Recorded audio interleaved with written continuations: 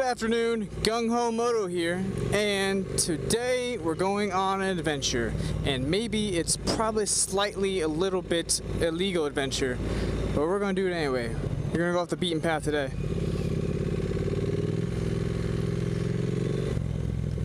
And up here on our right is the old Beaufort Pickle Factory. Uh, it was built in 1920 and it used to be a meat packing factory and but most recently it was a pickle factory. Before it is what you see now which is just a big beaten up graffiti uh, warehouse. And now we're about to do this. Check it out. Oh I got a little stuck. But that's cool. Hope I didn't just like yank out my oil pan okay um but this is like the last building standing in this area from that era, from 1920.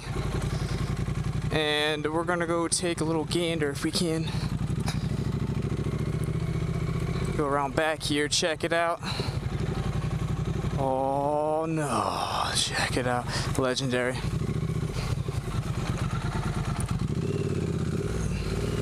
I don't know what's back here. Fall and exploring today. Uh,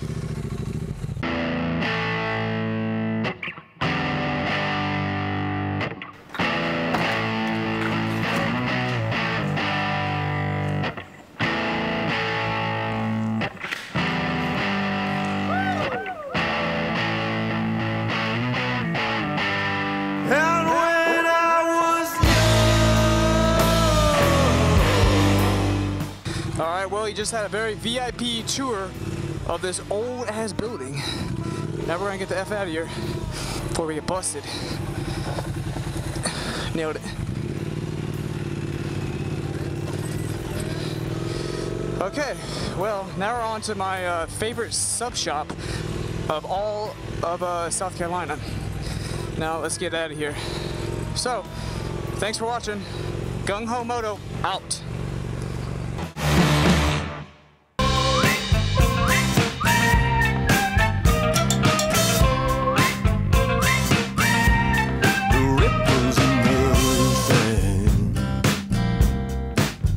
and the clear.